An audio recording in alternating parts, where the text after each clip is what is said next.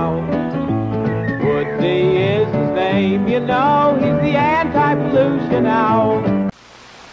I'm Woodsy Owl, and I'm here to tell you about a dirty word, pollution.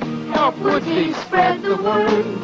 Never be a dirty bird. Hoo hoo. Don't paint around our buildings. That's pollution. Give a hoot. Don't pollute. Never be a dirty bird. Hoo hoo. Turn radio down. That's noise pollution. In the city or in the woods, help keep America looking good. I'm Woodsy Owl. Please give a hoot about our neighborhoods. Because if you don't give a hoot, Who will? Hey, Bill Nye the Science Guy here with Woodsy Owl on Earth Day 1997.